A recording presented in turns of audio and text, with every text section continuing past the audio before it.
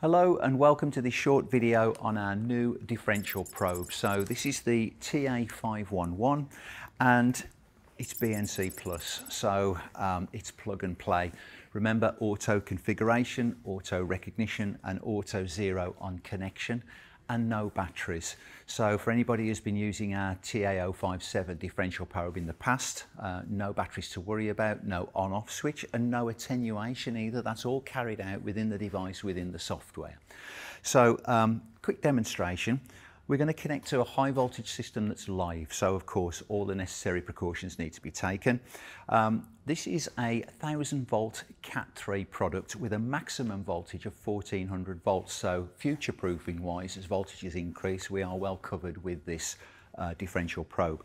Um, protective impedance, that's what's key here. It's a high impedance probe, so we're not going to influence any circuit that we connect to, so things like um, CAN networks we can measure across without influencing, but also protective impedance. So whilst there may be a thousand volts here at the front end, we don't see anything like that at the scope, of course, and the relative protection inside the device. So we are safe using this, this device.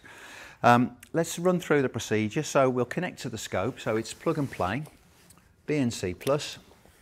The software instantly recognizes that it's a differential probe and it sets the um, probe setting accordingly.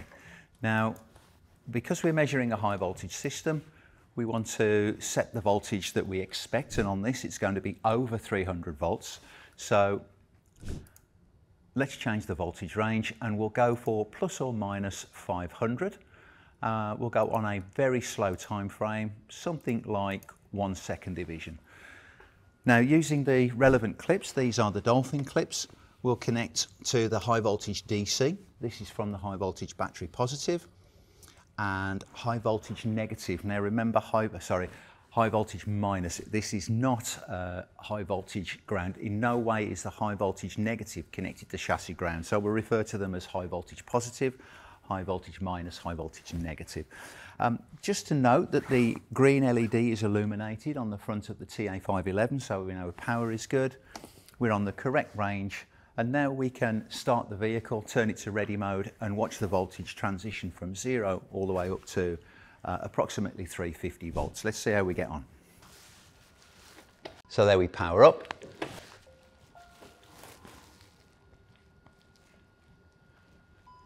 And then ignition off and power down.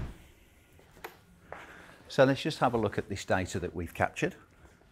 So pause the software, um, let's just take a measurement between the rulers. So during this period here, if we go to measurements, we'll ask for the mean value uh, and we want that between the rulers and we'll have that as a large lozenge.